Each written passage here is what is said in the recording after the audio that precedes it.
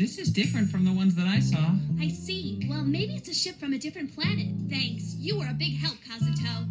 I got a question. Yagi, do you not get along with Narue or something? Well, not exactly. I just can't stand the way Nanase uses the whole I'm an alien thing as a way to gain popularity with everybody. But Narue isn't the kind of girl who. Okay, first, when and where did you see these spaceships?